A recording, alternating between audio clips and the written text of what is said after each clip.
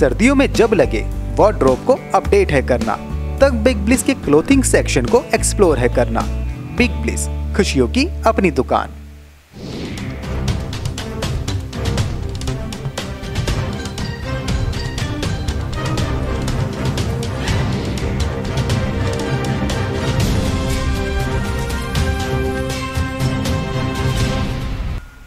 विदेशी बाजारों में तेज़ी के बीच दिल्ली तेल तिलहन बाज़ार में सोमवार को ज़्यादातर खाद्य तेलों के दामों में वृद्धि देखी गई।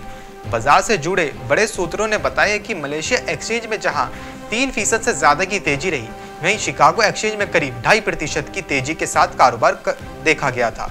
सूत्रों का कहना है कि सूरजमुखी तेल की कीमतों में वृद्धि के कारण मूंगफली तेल की मांग बढ़ रही है।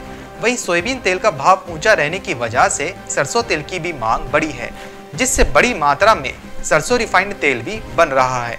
इसके अलावा सरसों की आवक बढ़ रही है, लेकिन इसकी मांग भी लगातार बढ़ी है, जिसके कारण सरसों तेल की कीमतों में सुधार देखा गया है।